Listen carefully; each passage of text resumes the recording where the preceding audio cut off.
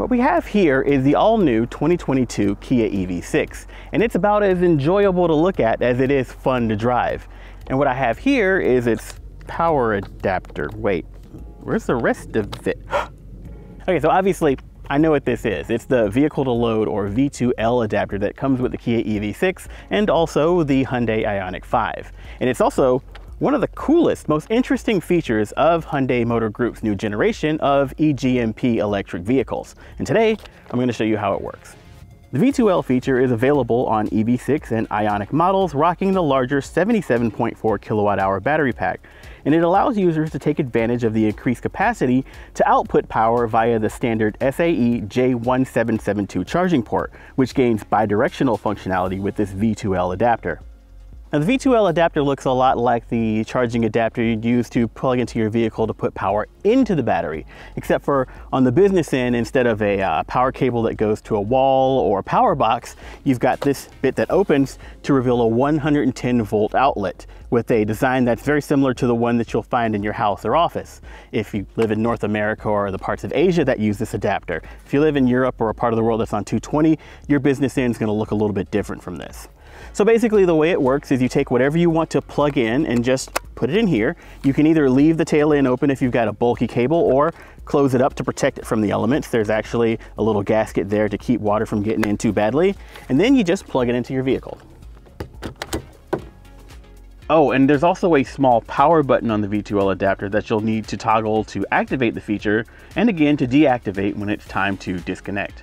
The maximum load that vehicle to load is capable of drawing is around 3.6 kilowatts, or about 15 amps according to the label on the adapter. For comparison, the ProPower onboard system that comes standard with the Ford F-150 hybrid was good for 2.4 kilowatts, while its 240 volt upgrade option can supply up to 7.2 kilowatts. Now at the other extreme, most inverters that you'll find on conventional gasoline pickups average around 150 to 400 watts or 0.4 kilowatts to keep my units consistent. Now 3.6 kilowatts is more than enough power for a whole tailgating party, including uh, loudspeakers, a big screen TV or a projector, maybe even a popcorn maker and a mini fridge. Now if you're camping, you can use it to do things like uh, charge electric bicycles or run camp lights, charge your gadgets while you're overnight. Maybe you get the urge to uh, build a treehouse in the middle of the woods. You can even run small power tools and appliances off of this thing like a circular saw. Hell, last year the power at my house went out for over 48 hours and I ended up having to throw away everything in my fridge and freezer. With this vehicle, I could have just run an extension cord into my kitchen, plugged the fridge in, and had enough capacity to run it for over 300 hours. That's almost two weeks, and there still would have been plenty of juice for charging my gadgets along the way. So I'm guessing there's plenty of overhead for this 400 watt shop vac we're demonstrating with today.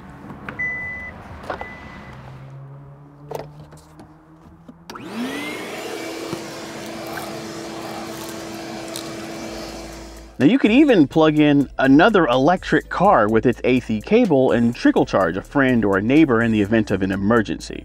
It'd take forever and you'd only get them a few miles, but that could be the difference between getting to the next charging station or home for a faster, more complete charge.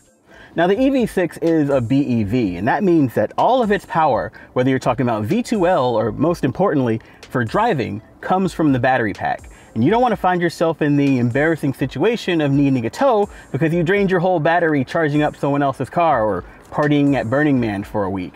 So to help you control it, you've got an V2L menu right here in the infotainment. Here I can set a discharge limit for the system. I've got options from 20% all the way up to 80% of reserve battery and I can set it in increments of 10. So if I set it here to 70% uh, I want to keep for myself, then V2L will end once I've gotten below 70% battery and I can make sure that I've got enough range to get home safely. Oh, and while we're in here, the EV6 also features a second 110 volt outlet under the back seat, so you can plug in and charge your gadgets like uh, laptops or drones, or in this case, camera batteries on the go. It's also lockable if you've got small kids back here and you don't want things jammed in or spilled onto the outlet.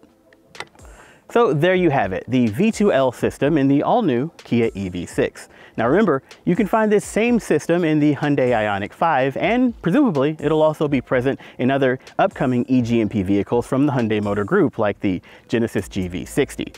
But what about the competition?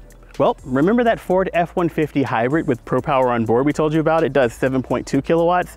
Well, with the upcoming Lightning, it's getting upgraded to 9.6 kilowatts. That is crazy. So what do you think? Is this just a gimmick or is this a killer feature for the EV6 and its siblings? And if so, what kind of junk would you plug into it? Let us know in the comments below, and when you're done, maybe head over to theroadshow.com where our full first drive review can be found. There I'll explain to you why I think that this is probably the best vehicle that Kia has ever built.